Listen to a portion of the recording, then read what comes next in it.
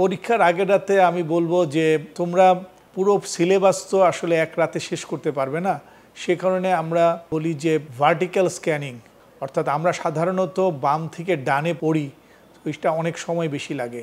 কিন্তু যেহেতু তোমার ইতিমধ্যেই পড়া আছে, তুমি প্রতিটা পৃষ্ঠে শুধু স্ক্যান থ্রু করে যাও, দেখে যাও। তোমার মাথা ওটা রিপিটেশনটা আসবে যে আমি যা পড়েছি এখানে এই অধ্যায়ে এই এই বিষয়টা আছে।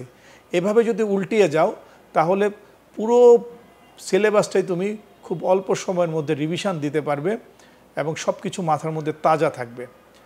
আর আরেকটা বিষয় বলব যে পরীক্ষার আগের দিন রাতে বেশি রাত জাগার দরকার নেই। মানে রাত দুটা, তিনটা পর্যন্ত আমি জাগলাম সকালে পরীক্ষা।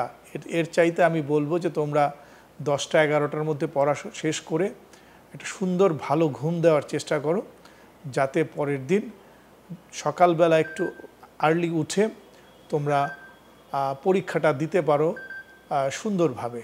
এতে তোমাদের ভয়ভীতি কেটে যাবে। আর অভিভাবকদের অনুরোধ করব যে পরীক্ষার আগের রাতে ভারী কিছু খাবার যেন বাচ্চাদেরকে না দেয়া হয়।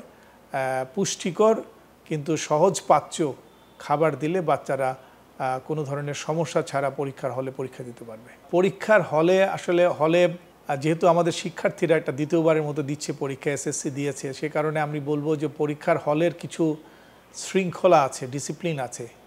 আর পরীক্ষার্থীরা যদি সেটা মেনটেন করে তাহলে হলের অনেক সমস্যাই সমাধান হয়ে যায়।